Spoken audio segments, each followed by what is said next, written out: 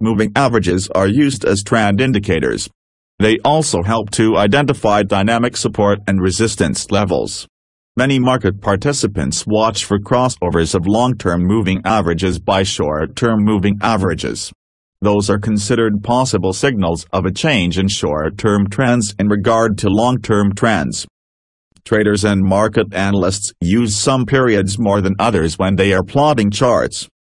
For identifying long-term overall trends, the 50, 100 and 200 period are the most commonly used.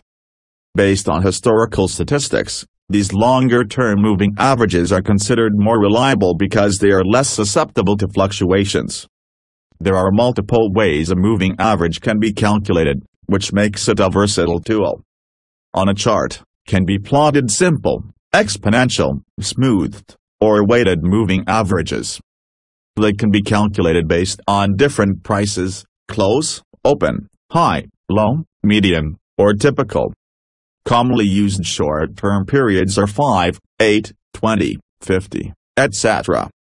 However, for short-term trading, the simple moving average is especially useful for a particular reason.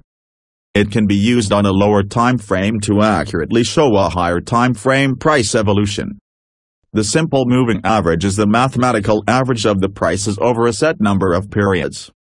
For this reason, it can be successfully employed in multi-time frame analysis. On a 15-minute chart, a 24 simple moving average will show the overall price evolution from the 4 hours time frame. On the same 15-minute chart, a 96 simple moving average will show the overall price evolution from the daily time frame. A 96 simple moving average from a 15-minute chart will present us with the same information as 24 simple moving average from 1-hour chart does. The daily trend can be observed on these two charts equally fine. Traders can pick their period's value so the information on their charts is relevant to their system. To see more, please subscribe, give us a thumb up and share our clips.